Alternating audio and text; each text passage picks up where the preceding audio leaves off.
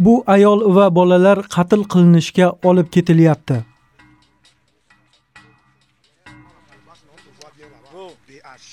Ushbu videoning so'ngida vahshiylik aks etgani uchun uni ko'rsata olmaymiz.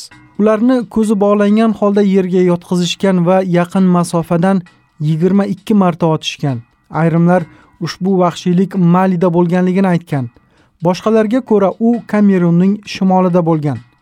Bu yerda hukumat 2014 yildan beri boko haram bilan jang qilmoqda. Kamerun hukumati avvaliga bu xabarlarni soxta deya rad etdi. Keyinroq avgust oyida ular pozitsiyasini o'zgartirdi va yetti askar tergov ostidaligini bildirdi. Biroq askarlar javobgarlikka tortilishiga hamon kafolat yo'q. Bbc olib borgan tadqiqot qotillik qachon qayerda va kim tomonidan sodir qilinganini isbotladi. Iyul oyining oxirida bbc kamerundagi manbasidan xabar oldi. Ushbu tepalik tizmasiga o'xshash joyni zelevat shahri yaqinidan topdik. U kravamafa qishlog'i chekkasidagi tuproq yo'ldagi manzaraga mos tushadi. Videoda yana ushbu yo'l mana bu bino va daraxtlar ham ko'ringan. Barcha dalillarni birlashtirib qotillik shu yerda bo'lgan deya olamiz. Qotillik qachon bo'lgan?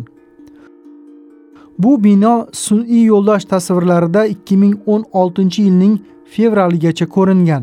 Sun'iy yo'ldosh 2014 yil noyabrida hali qurilmagan mana bu binoni ham tasvirga olgan. Mana bu so'qmoq yanvar va aprel oylari o'rtasidagi quruq jazirama vaqti paydo bo'ladi. Bu yog'i oddiy matematik formula.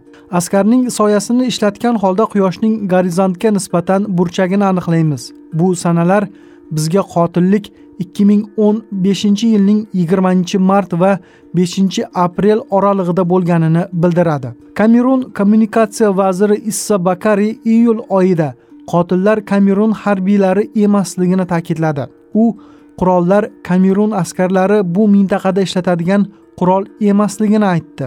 Biroq tahlillarimiz qurollardan biri serbiyada yasalgan zastava M21 ligini aniqladi. Vazir yana uzoq shimoldagi kamerunlik askarlar o'rmon aksi tushgan kamuflyajni kiymasligini aytdi. Biroq bu reportajni britaniyaning channel 4 kanali zilevatdan tayyorlagan. Unda kamerunlik askarlar ayni kiyimda ko'ringan. Biz bu dalillarni kamerun hukumati oldiga qo'ydik. Yetti askar ushlandi va qurolsizlantirildi ularning ishi ayni damda tergovda. Ularning yetovlani ham qamoqda ekanligini tasdiqlayman. Hukumat o'z bayonotida bu odamlar sudda isbotlanmaguncha aybsiz ekanligini aytdi. Ularning barchasi adolatli sudlanadi. Bu adolatli sud o'ldirilgan bolalar va ayollarga qo'llanilmagandi.